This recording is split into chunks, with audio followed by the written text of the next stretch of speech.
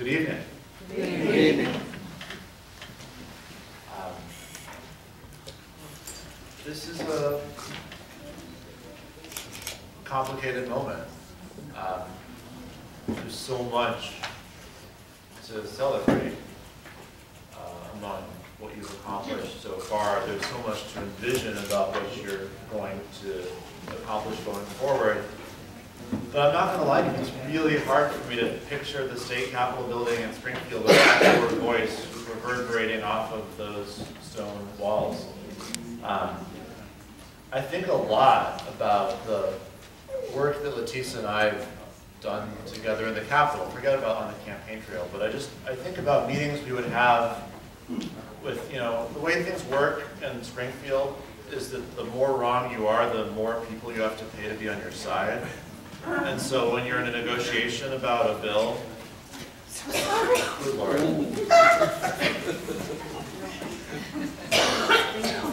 Good thing the fingers on Talk about that. negotiation. Everybody's fine. Mother. Um, Yeah. That's right. um, And you're right. we did it, all right. Um, no. Um,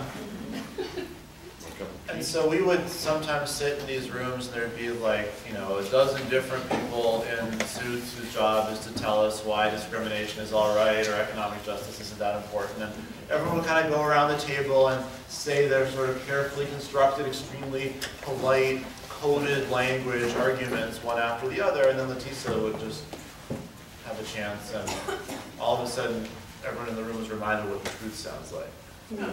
all of a sudden, everyone in the room was reminded what justice is about and what public service is supposed to be for. And, and that voice is so important and so strong and so frankly unusual and so unique.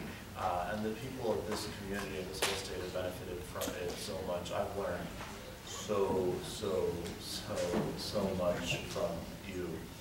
Um, and I've been thinking a lot recently about what do you do with that knowledge and those experiences and that voice as you set off in a new chapter? And I think it's going to be phenomenal.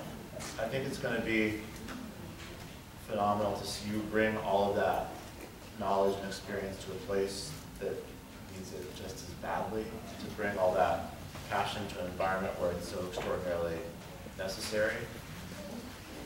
And I think that skill that Litesa has of being in a moment where everybody is saying stuff that isn't really the truth and just saying the truth so loudly and clearly and persuasively so that everybody else has no choice but to listen and focus and pay attention and start to act accordingly. That skill's really useless, useful for, for a legislator. It's useful in all sorts of areas of life. But fundamentally, that's the skill of an organizer. That's the skill of a leader. That's the skill of someone who every time she steps out of her house in the morning, she's going to find people following her and walking with her and changing worlds with her. And so that gives me a lot of comfort in this moment of transition to know that whatever the shape of your next many steps are going to be, they're going to be powerful and they're going to find you and your voice attracting people from all walks of life to work together with you and make change. Um, Litesa became a part of my political life in a really hard moment. And that was a moment in my political life when a lot of people were finding it really easy to walk away.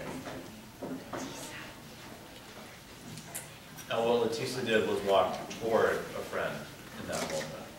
What she did was to embrace a cause in a difficult moment, not the easy moment.